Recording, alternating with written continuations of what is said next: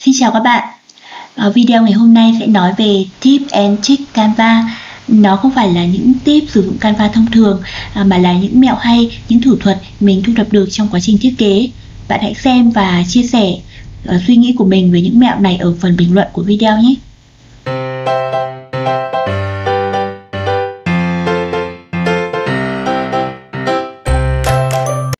Trong một thiết kế được chia hai phần với hai gam màu chủ đạo khác nhau à, ví dụ là phần trên và phần dưới như thế này thì nếu mà không có sự chuyển tiếp giữa hai gam màu mà chỉ để bình thường thì trông sẽ rất là thô Ví dụ như đây là một thiết kế mình đã làm thì bạn có thể thấy là đoạn khối ở bên dưới được làm kiểu gradient để chuyển tiếp từ màu trắng sang màu hồng. Ờ, trông rất là mềm mại và tự nhiên thay vì chỉ là một hình khối cốc lốc. Vậy cách làm nó như thế nào thì mình sẽ hướng dẫn bạn rất là nhanh thôi. Trước hết thì sẽ chọn một hình khối trong phần hình dạng và đưa vào thiết kế. Sau đó xoay hình và đặt vào vị trí. Đây là một hình khối mà mình khá là hay sử dụng vì nó có đường cong khá là xịn. Ok, mình sẽ điều chỉnh hình khối này và đưa xuống dưới. Thường thì mình thiết kế ảnh quảng cáo ở bên trên là trình bày ờ, về sản phẩm và khuyến mại, bên dưới là thông tin, địa chỉ và số điện thoại. Mình sẽ đổi màu cho ờ, cái này bởi vì nó có ba màu khác nhau, mình đổi về cùng một màu.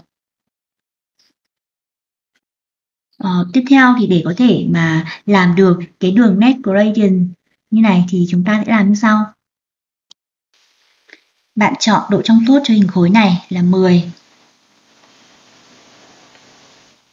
Ok, rồi và chúng ta bấm nút nhân bản hình khối thì được một cái hình thứ hai là hình này thì vào chọn độ trong suốt tiếp sẽ để là 20.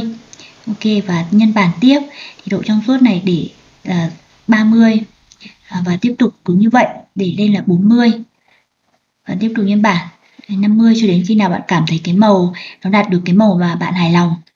Rồi và mình sẽ bôi đen chọn toàn bộ chỗ hình khối này và di chuyển để điều chỉnh nó.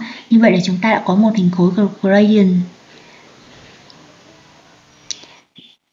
Và cái kiểu gradient này thì ví dụ đây là một ứng dụng khác thì mình đã đặt ờ, chồng đè các lớp lên đặt nhiều lớp hình ảnh chồng đè lên nhau. Và ở mỗi hình ảnh này thì mình chọn cái ờ, độ trong suốt khác nhau.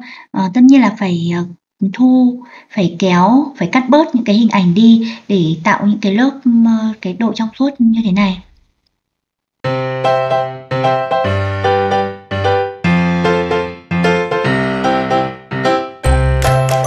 Tip 2 này sẽ là một tip rất đơn giản. Bạn gặp một phông chữ mà mình thích ờ, nhưng nó quá mỏng, quá nhạt thì bạn hãy làm như sau để nét chữ được dày hơn.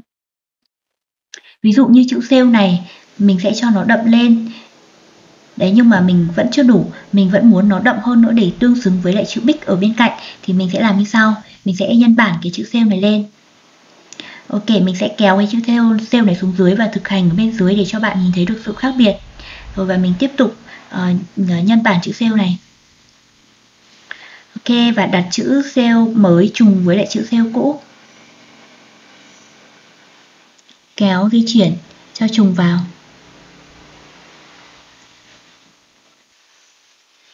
và tiếp tục nhân bản thêm một lần nữa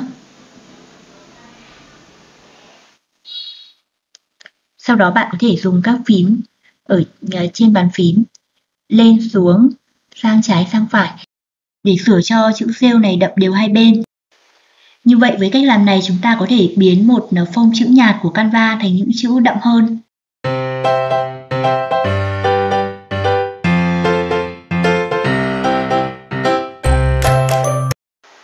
Thiết kế này mình làm các bạn có thể thấy là ở đây có một chữ vàng và chữ này thì có cái nét óng ánh giống như là vàng thật. Vậy làm thế nào để làm được như thế này thì mình sẽ giới thiệu với các bạn ngay như sau. Bạn vào thành phần và chọn khung. Kéo xuống bên dưới thì bạn sẽ thấy các ờ, khung có hình chữ. Đây.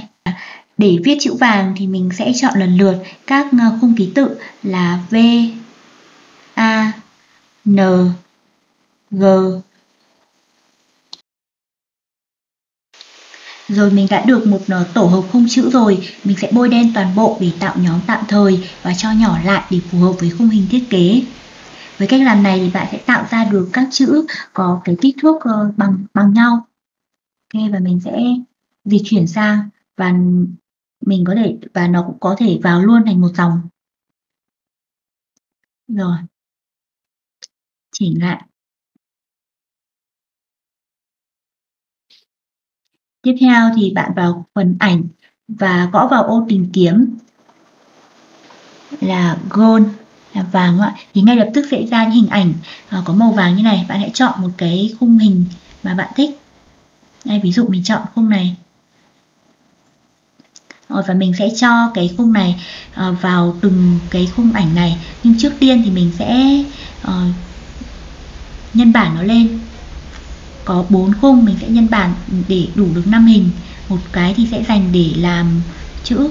Bạn chỉ cần đưa những khung ảnh này kéo thả vào các khung hình thì tự nó sẽ chuyển thành màu vàng.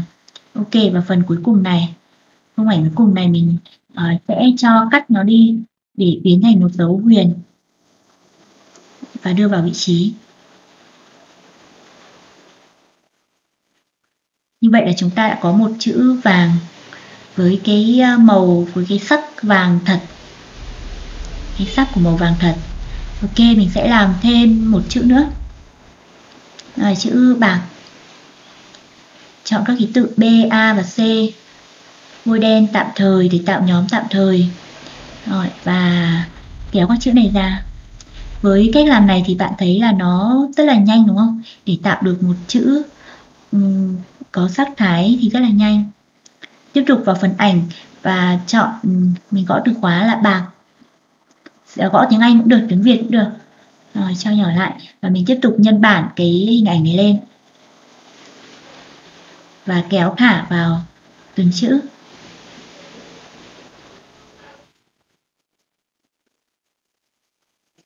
Ở chữ bàn này sẽ cần một dấu nặng thì mình cũng sẽ ờ, thu nhỏ cái hình này lại và ta được một dấu nặng. Chữ này cũng vậy. Ok vậy là chúng ta đã có hai chữ vàng và bạc mang cái sắc thái rất là thật rồi. Có thể uh, giúp bạn trong việc uh, thiết kế. Mình sẽ tiếp tục tổng hợp những cái mẹo Canva hay trong những video tiếp theo. Bạn hãy uh, subscribe kênh để ủng hộ mình, bấm vào nút hình quả chuông để nhận thông báo về những video mới nhất. Và mình có một vài phần quà tặng bạn ở phần mô tả của video. Hãy kéo xuống để xem nhé. Xin chào và hẹn gặp lại.